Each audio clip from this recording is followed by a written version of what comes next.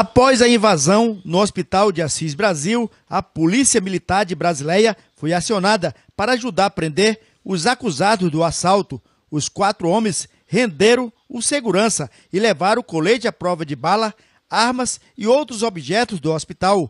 Com o reforço policial que a Polícia Militar de Assis Brasil recebeu de Brasileia, conseguiram prender dois acusados e recuperar arma, objetos e a moto utilizadas no crime.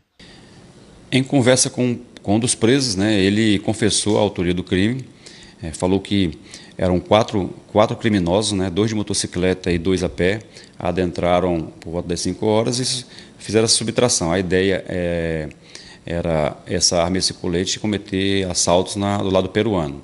Também foi recuperado, foi apreendido é, essa motocicleta que foi utilizada nesse, nesse crime.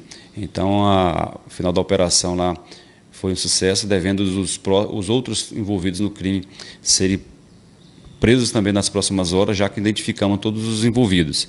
E, e a, ação, e a ação da Polícia Militar será intensificada também naquele município para coibir que, esses, que esse tipo de crime aconteça. Então, a Polícia Militar ela deu uma resposta rápida para que a sociedade tenha a, a tranquilidade necessária né, para o convívio salutar é, naquele, naquele pequeno município de Assis Brasil. Os dois acusados deste assalto que aconteceu no Hospital de Assis Brasil já foram trazidos aqui para a delegacia do município de Brasileia, para o delegado realizar todo o procedimento e possivelmente eles serão encaminhados para o presídio Francisco de Oliveira Conde, onde ficarão à disposição da Justiça.